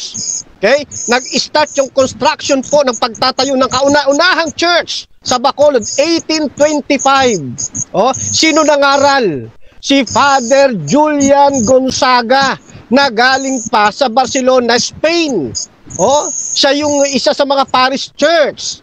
Yan. O yan yung nasa kasaysayan. Oh, at ah, at ah, ah, sabi pa sa kasaysayan, ano ho? Yan, oh, ito pa sabi. Oh, oh, yung yung church na ito, yung kauna-unahang church na ito which is Roman Catholic Church. Yan, na ito inaaniba ng ating ah, moderator ngayon si Karasya. Yan, yan. So ito ay inagyo nagkaroon ng inaugurated at nakumpleto January 20, 1882. Oh, wala pa kayo rito. Oh, wala pa kayo rito. Oh, at maging ang pananampalatayang Adventist wala pa rin sa sa panahong ito dahil ang kauna-unahan ayon sa kasaysayan. Ano, yung Roman Catholic Church at hindi ko tinututulan 'yan. Nasa kasaysayan 'yan eh. Kasi kaming mga Adventist, ano ho? Oh, nananangan kami Biblia at history. Yan ang kaibahan natin. O samantalang ang affirmative nasa ah, Biblia out of context pa. Okay? So nagkakaroon pa ng self-proclamation. Ano po? So walang ano eh. Ah, naiintindihan ko kasi this is a kind of ah, yung study niya ay ah, ah, mula sa terminong argument from ignorance. Ano po? Walang ah, walang sapat na naging pag-aaral. Okay? Walang sapat na naging pag-aaral tungkol dito. Okay? Yan. Oh. Kaya mapapansin nyo, hinanapan natin, may sulat ba si Apostol Pablo para sa mga taga Bacolod dito sa Pilipinas? Wala eh. Oh, wala. O sino kasama niya? Si Lucas daw. Buti nga, hindi ko pa hinanap eh. O, saang uh, kasaysayan ni Lucas, nakarating siya sa Pilipinas eh. Wala rin siya may papakita. Ano ho? Wala siyang may papakita. Okay? So, uh, unbiblical, no? at wala sa context, yung kanya pong uh, paggamit sa talata. Ang ginagawa niya, pinasusunod po niya yung Biblia sa gusto niyang mangyari. Oh, yan. Palibasa, gusto niyang palitawin yung Bacolod dito sa Pilipinas, nakapunta si Apostol Pablo, kaya hanap siya ng mga talata na kahawig na salita, Bacolod. Ayun, kaya ilan idudugtong niya ngayon, maling uri ng pag-aaral yan. Dapat, ang gagawin natin pag-aaral ay exegesis. Tayo ang susunod sa itinuturo ng Biblia. Hindi yung Biblia ang pasusunodin natin sa gusto nating mangyari. Ano? Ganyan po yan mga kapatid. Ano ho? At uh, ito pa, oh, si Apostol Pablo, no? tinataya na siya ay inabutan ng kamatayan, 67 AD. No? Something like that. O, paano siya makakarating sa Pilipinas? No? Na siya, nagayong ang Pilipinas ay hindi pa nadidiscover during the time. Oh, wala pa. Although may tao rito pero sa kasaysayan, wala pang ibang naka naka-discover ay sayang. Time na pala. Sige po. Okay, so dyan natatapos ang rebuttal ng ating negative at uh, dako muna tayo sa ating second cross ng affirmative brother o Pastor Lindon ng Church of Christ Street 33 AD. Your time start now, bro. Okay. So, dinig na po ba ako? Malinaw, malinaw. O, sige, sige, sige. So, akala ko sinakamute ako eh. So, ah, una kong tanong. Ang sabi mo kasi kanina na hindi pa nanginsakop ng Asia. Ah, ang Pilipinas ay hindi pa nanginsakop ng kontinente ng Asia. So, ang tanong ko, kung hindi pa noon ah, sakop yung Pilipinas ng kontinente, kontinente ng Asia, anong kontinente ang sakop ng Pilipinas? Sagot. Can I, can I uh, clarification, Mr. Moderator? Mm Yes, saan niya ako tinatanong? Mhm. Sa history o sa biblical perspective? Okay, ah, tutugon ka ba doon, bro Lindon or um, tuloy ka pa din sa pagtatanong mo? Yes, yes. Ah, history po, history. No, ulitin mo yung tanong. Mhm. Ang sabi, ang sabi mo kanina, noon hindi pa, yung Pilipinas ay hindi pa sakop ng kontinente ng Asia. So ang tanong ko ay ganito, kung noon hindi pa sakop ang Pilipinas ng kontinente ng Asia, anong sako, anong kontinente ang sakop ng Pilipinas noon? Sagot. Okay. Sige. Okay, sagot. Wala akong binanggit na sa kasaysayan hindi sakop ang Pilipinas ng kontinente ng Asya. Sa history ang sabi ko, binigyan sila ng pagkakakilanlan ng sumakop na bansa. Ang sinasabi kong hindi siya sakop sa biblical perspective na Asia. Kasi sa Asia na nasa Biblia, hindi kasama ang Pilipinas riyan. Next Ano question. ho? Yan. Okay, next question. So, ngayon inaamin mo ba ayon sa history na mula noon hanggang ngayon ang Pilipinas ay sakop ng kontinente ng Asia? Yes or no? No. No.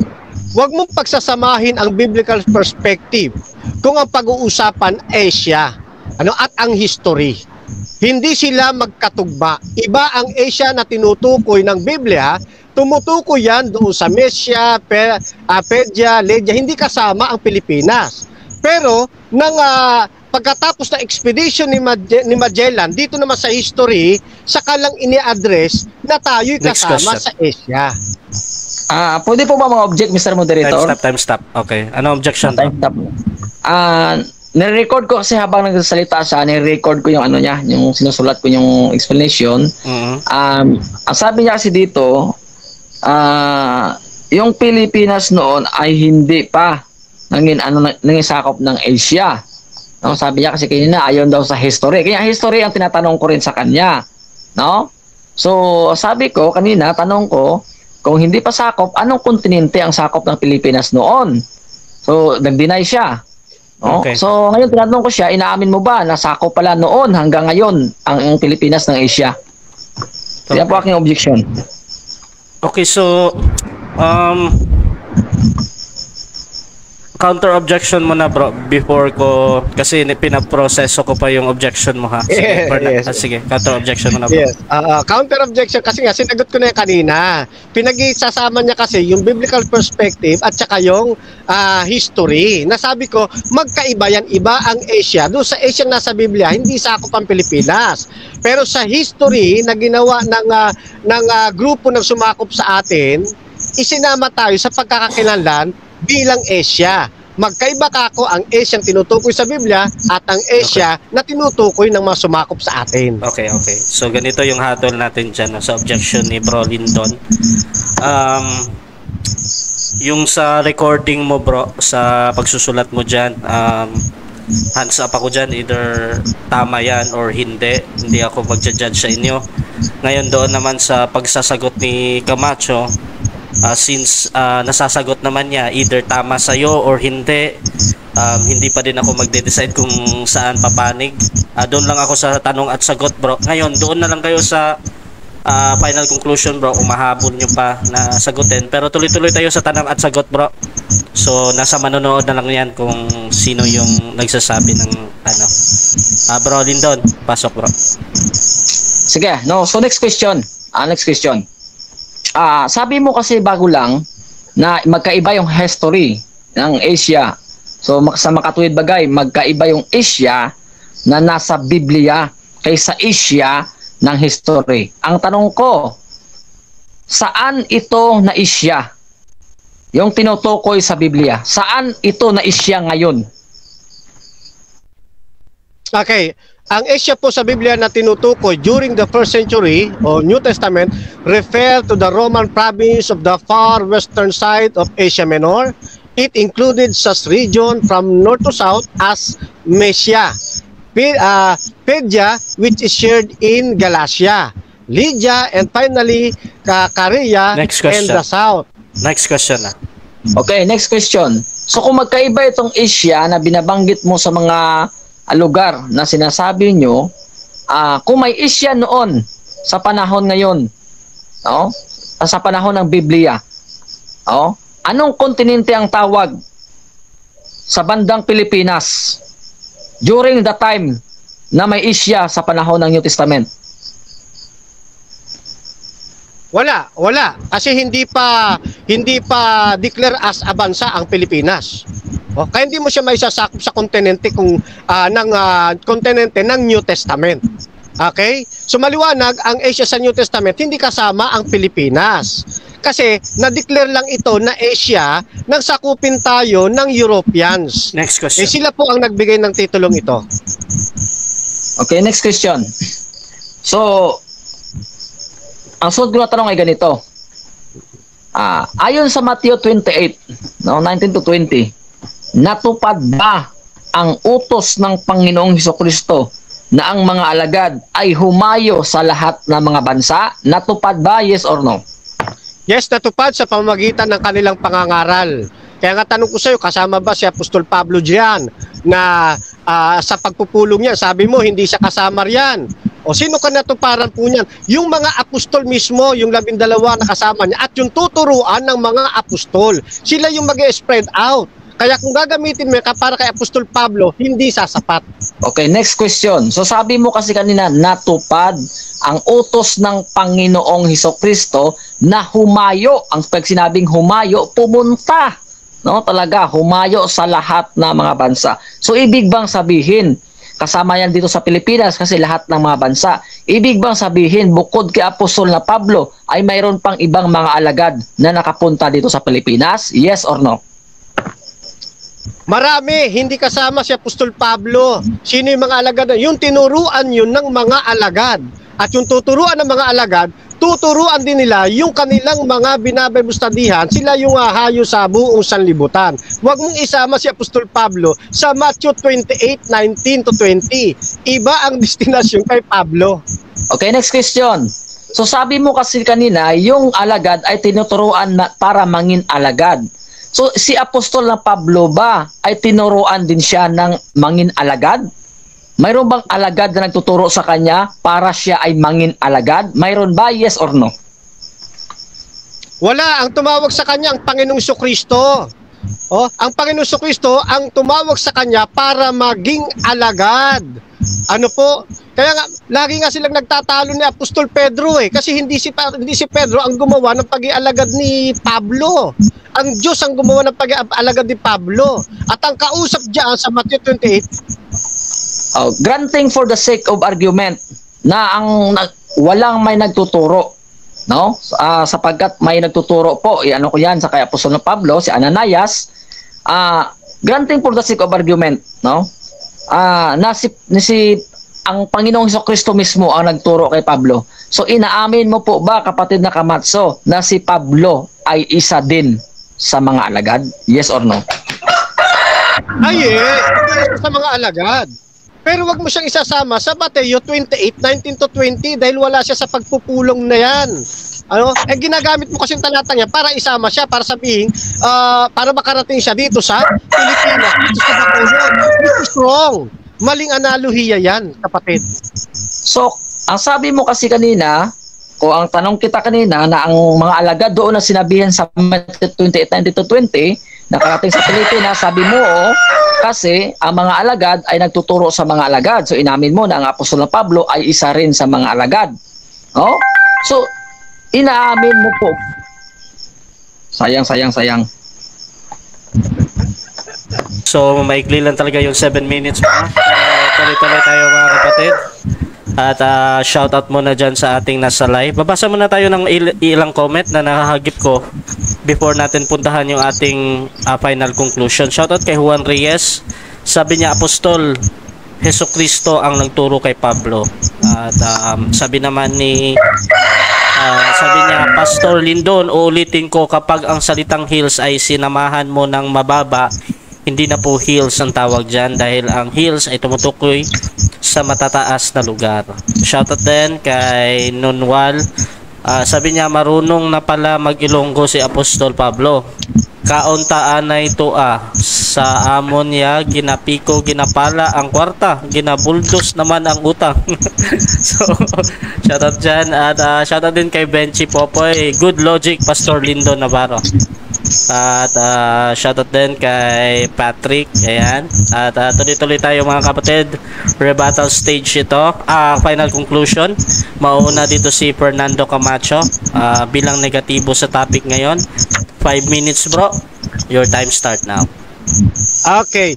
So sa aking ah, huling presentation mga kapatid, ano ho, yamang hindi niya natutulan yung pagpapatuto natin mula sa mga historical books, katulad halimbawa ng ah, history na ah, isinulat ni Professor Gregorio F. Saide, ano ho, ay ah, hindi niya matu- matitibag yung atin pong uh, katotohanan uh, sinabi na iba ang pagiging Asya ng Pilipinas sa Asya na nasa Biblia.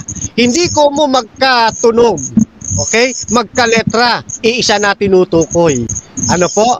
Yan. Siguro, ang hahanapin ko naman kay ah, ah, sa affirmative, sa kanyang last statement, no, bumasa siya ng kasaysayan. Ano ho, na ah, standard, ah, hindi hindi Biblia panlabas sa Biblia. O na ang Pilipinas itinuring na na Asya no ayon sa standard reference na nasa kasta nasa history no hindi po muna sa Biblia okay ngayon punta naman tayo sa Biblia okay babasa siya sa atin verbatim na yung Asia kasama Pilipinas yan oh ngayon kung wala siyang mabasang verbatim baka sa mga pantulong na ah, na mga kasulatan halimbawa oh commentary yan baka may mabasa siya sa Bible commentary na yung Asia na tinutukoy sa Biblia kasama Pilipinas. Ano? Bumasa siya. Ano, hindi po pwedeng kwento-kwento lang dito. Dapat meron tayong pagpapatunay. Okay? At tutulan niya na ang kauna-unahan dito ayon sa kasaysayan na na na, ah, na nagkaroon ng church dito sa ah, Bacolod, eh, Roman Catholic Church. Ano ho? Ayon sa history. Kasi yun ang nakalagay sa history. Kung sasalungitin mo to, eh wala ka sa pamantayan ng standard history. Okay? So dapat ah, maglabas ka na mas nauna kayo sa sa history, no, yung inyong inaaniban, no? At isa pa, no, yung yung Church of God ngayon na nandiyan sa ah, sa Bacolod, hindi yan ang Church of God na nasa Biblia. Yan ay isa lamang impostor. Yan ay isa lamang ah, uh, kabuti na sumulpo. Sapagkat ang tunay na iglesyang nasa Biblia, ang katangian po niya, nangingili niya ng sabat. Hindi yan kumakain ng karumal-dumal. Ano po? Sumusunod niya sa sampu utos. Lahat ng mga existing batas sa lumang tipan sinusunod ng tunay na iglesia ni Kristo. Kaya nga doon sa aming aklat eh, doon sa paglapit kay Kristo, sa aklat namin sa pahina 11, isa rin kami. Iglesia ni Kristo rin eh. Ang pagkakakilala sa amin eh. Kasi kami tunay. Ang pinagkaiba lang natin, no? yung iglesia ni Kristo, yung huwad yung iglesia ni Kristo ng, ng yung pagiging iglesia ni Kristo ng Seventh-day Adventist ito yung tunay sapagkat ito ang nakakapit o nakadugtong nakaugpong sa iglesyang itinayo ng ating Panginoong Diyos mula pa sa lumang tipan hanggang sa bagong tipan hanggang sa panahong ito na siyang nagdadala ng tunay na aral ng Ibanghelyo na si Kristo ang pinakasentrong usapin. Kaya walang ibang nagdadala ng three angels messages sa mundong ito maliban sa Seventh-day Adventist Church. At ito ring Seventh-day Adventist Church na ito ang siyang pinangunguluhan ng ating Panginoon. Kaya napapansin ninyo, mula sa unang tindig ng afirmatibo hanggang ngayon, ano, wala siyang matibay na naitayo. Manapa, ang Seventh-day Adventist ay punong-puno ng mga dokumento na nagpapatunay na si Apostol Pablo hindi nakarating sa Pilipinas dito sa Bacolod ang nakarating. Kaya may 70 Adventist sa Bacolod, yung aral, yung aral ang nakarating. At ito ang maliwanag na naitindig oh, ng uh, negative side, nagkabaliktad na tuloy. Ang negative side pa ang nagtindig ng katotohanan sa halip ng affirmative side. Okay? So lumalabas ang, ang affirmative side, nananangan lamang sa sariling conclusion. Pinasusunod ang Biblia sa gusto niyang mangyari. Ayaw niyang sumunod sa kung ano ang talagang kahulugan at sinasabi ng Biblia. Uulitin ko, hindi ko mo magkasing salita, iisa na tinutukoy. Yan ho ang katotohanan po niya. Then tutulad niya rin sa atin, yung mga Bible translation na ating binasa na nakabase sa biblical text na yung, yung Acts 19 ay tumutukoy sa upper place, sa mas mataas na lugar bago siya pumunta sa mababang lugar ng uh, Epeso. Ano? Yan ang mga aabangan natin. Kapag ka hindi niya ho naribat lahat ng yan, isa lang ibig sabihin yan. O pagka wala siyang dokumento, nananatili pong nagtatagumpay ang katotohanan at Diyos ang patuloy na nagwawagi sa usaping ito. Hindi ang affirmatibo. Ano ho? So mga kapatid, Time, time. yan mga kakaunti na lamang ang aking oras. Time, time, time. Ano ho? Ay, sa, sige, maraming salamat.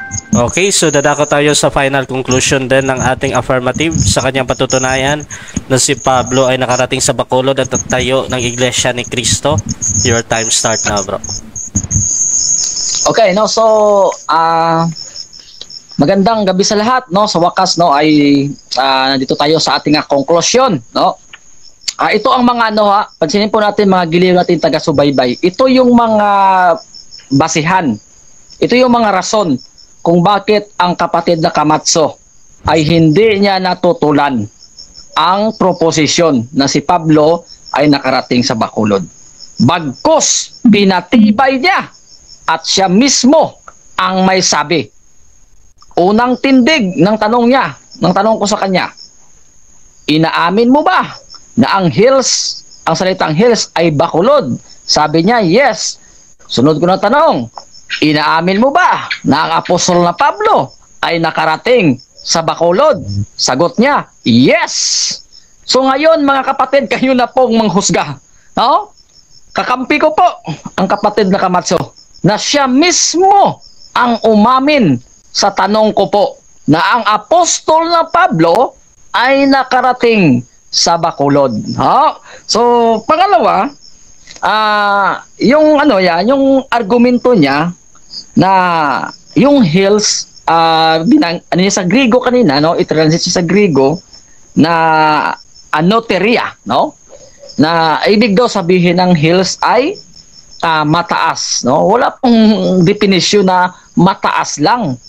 Oh, kaya ulit-ulitin po natin. Pag sinabi kasing hills, hindi yan puro mataas.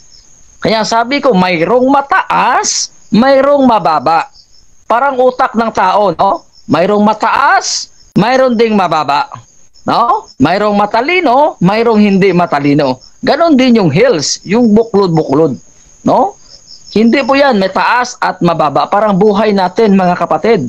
No? Minsan sa ibabaw, ay minsan ay nasa ilalim. No? So, yan po. ah, maliit at hindi po, ah, ano, hindi po natin paniwalaan na yung argumento na yan na pag sinabi nating health, no, exclusive lang doon sa mataas. Yung health mayroong mataas at mayroon ding mababa.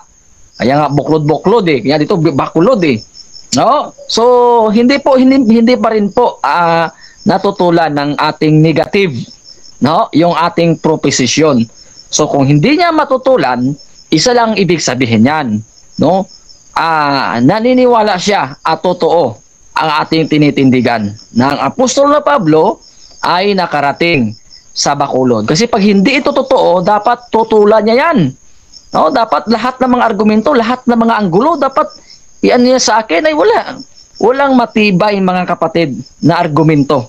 Walang matibay na banat po. Oh, yung kanyang ano, yung kanyang basihan lang kasi yung salitang Greek daw ay tumutukoy sa mataas. Mali po 'yan. No, kahit grade 1 6 99 po. No? Hindi po natin pwede paniwalaan 'yan. Mali po 'yan, no? At saka ah sabi ko kasi kanina, natupad ba ang hula ayon doon sa Matthew 28 na inutusan ang utos ng Panginoong Heso Kristo na humayo kayo. Pag sinabi natin humayo, pupunta. Puntahan nyo, humayo kayo. No, pinapunta. Sabi nga ng English diyan ay go eh. Go. Tapos sabihin mo, sulat lang nakarating dito. Oh, literally yung tao talaga na mag-go. Pag sinabi natin go, iba yung salitang go at iba yung salitang sent. Kasi pag sulat kasi, sent dapat yun, padala.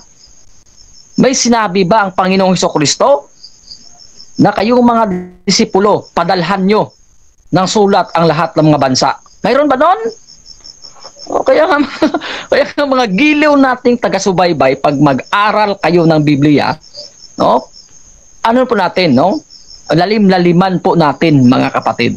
Ang sabi po ng Biblia, humayo kayo sa lahat ng mga bansa. Ang sabi ko sa kanya, nat- natupad ba? Na humayo ang lahat ng mga bansa? Sabi niya, yes, natupad. Pansinin po natin, lahat ng mga bansa. So, kasama na po diyan ang Pilipinas. Kasi lahat eh. Huwag mong sabihin na ibubukod mo yung Pilipinas. No? Lahat ng mga bansa, humayo ang mga alagad.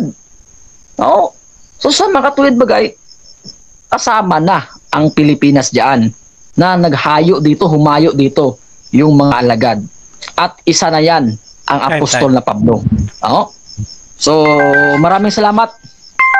Okay, so dyan natatapos ang debate natin between Church of Christ 33 AD versus Seventh-day Adventist sa katuhuhan ni Pastor Lindon at um, ah, ah, Brother Fernando Camacho. Ayan, so before natin i-end yung ating live, syempre gusto ko muna silang bigyan ng time magpasalamat sa ating mga audience, sa ating mga live participant dito. Unahin na natin si Bro Lindon at um, sige bro, salamat ka bro. Ah, sige, no? So, once again, no? So, maraming salamat sa pagkakataon na ah, maibalangkas ah, ang salita ng Diyos at maraming salamat po nabis sa ating buhay na Diyos na pinaglilingkuran. Oh, ah, pinaulakan niya po tayo na makadiscuss no sa pamamagitan ng internet at sa diskusyong ito. At maraming salamat no sa ating katunggali ngayon no si Brother Kamatso no pangalawang round namin to ni Kamatso no ni Brother Kamatso. So mas salamat ako na medyo ah, ah, hindi masyado no ah, ano yung usapan no. Ah, wala masyadong mga ah, side comment at ah, ah, formal siya. Formal po ay, ang yung conversation namin. At marami din salamat no sa ating kapatid na moderator. Ah, kapatid na Russia no sa walang sawa no nag entertain ah, kahit sa anong klaseng mga topiko no pagdating sa salita ng Diyos no. At marami din salamat sa ating mga panauhin hindi natin kailangan isa-isa na i-mention yung mga nandito ngayon at yung mga nasa live no at ako po ay ah, umaanyaya no nasa lahat ng ating mga pakinig ay subaybayan nyo po yung aking ah, Facebook account no every Sunday ah, kung gusto nyo po makapanood ng mga preaching series of lesson mga Sunday school O mayroon po kaming ano diyan, no, series of lesson at mayroon kong preaching. No, every Sunday po mapakinggan niyo po ako sa ating aking ah, Facebook account, no, sa Facebook Live, yung Navarro Lindon. Magandang gabi sa lahat at purihin ang Panginoong Kristo. Ayan, supportahan nyo daw si Lindon. Pwede kayong mag-PM sa kanya, sa kanyang account, Lindon Navarro. Search nyo lang. Meron din daw siyang mga preaching doon. So, kung gusto nyo makinig, punta lang daw kayo doon. At ah, syempre, doon tayo sa ating ah, brother Fernando. Bro, salamat.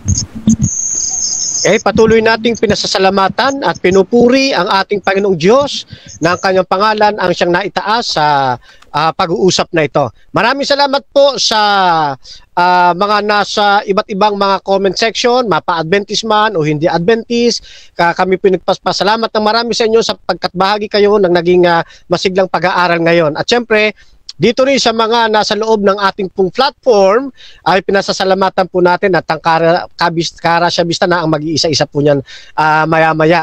No? At ah, salamat syempre sa ating pong ah, affirmative side kay kapatid na Pastor Navarro Lindo ng ah, ah, Church of Christ 33 AD. So thank you at uh, napakaganda ng ating pag-uusap. Ano ho? Ah, syempre sa ating moderator na patas na patas. No? Ah, Brother Rasha Vista kaya kung saan ito magpuntang platform eh talaga susundan ko ito eh. No dito tayo sa ating bagong bahay ano ho? Dito sa ah, Russia TV mga kapatid. Pag gusto niyo akong makausap dito po ang ating platform sa Russia Vista. Ano ho? Yan. Mayroon po kaming programa every Sunday live program from 1 to 1 to 5 PM ang ah, programang Ayon sa Kasulatan. Yan, so, sa subaybayan po ninyo kami. Ang akin namang personal na YouTube channel, type nyo lamang po Fernando B. Camacho Jr. Lalabas na po ang Back to the Truth Ministry. Compilation po yan ng iba't iba nating mga programa. Kasama na po ang debate nating mga isinasagawa. Okay? So, sa akin pong pagpapaalam mga kapatid, iniiwan ko po kayo sa mapagbiyayang palad ng ating Panginoong Kristo. Ah, hasta la vista, Viva Adventista del Septimo Dia. Chukbok, Hamnida, Mispa sa inyong lahat mga kapatid. Okay, syempre nagpapasalamat din ako sa lahat ng sumusuporta ng ating bagong bahay dito sa Russia TV kasama yung ating programa na Bahay Talakayan na debate ah, platform ito. At kung gusto nyo akong maging moderator, pwede kayo mag-PM sa akin. At kung gusto nyo hamonin yung mga kakilala kong pupwede dito sa aming platform, pwede kayo mag-PM sa akin para ako yung maging tulay ninyo para maka-debate ninyo. Gaya ni Brother Lindon, napaka-open yan sa mga debate at si Fernando Camacho. At syempre dito din sa ating live audience, nandito si Alvin Baleza ng Catholic, si Ricardo Malabon ng di ko alam si Erwin Asis si Prince Jomo ng JW si Johnny Kapangpangan ng Seventh Day Adventist si Rene Battles si Everster ng Judaism si Leluch ng Iglesia ni Cristo si Randy Cajoles ng XMCGI ayan hindi pa siya nakapili. Si Roel Teo ng Catholic si Nena Despidiones ng Catholic at si Patrick Gonzales na nagsusuri sa saan ba sinusuri ni saan ka ba nagsusuri ngayon Patrick? Sa Baptist ba? Ano, SDA brand. ah sa SDA pala ayan. Baka gusto mo ding suriin ng Catholic ha? Or Church of Christ ha? Tatay Catholic lahat po. lahat. ayan. So um 1-0. dito nagtatapos ang ating debate ngayon. Bukas na naman ulit. This is Russia TV and I'm out Mapalad ang bumabasa ng salita ng hula. Mapalad ang nakikinig at tumutupad. Mapalad ang nahahapis at sila ay aaliwin. Mapalad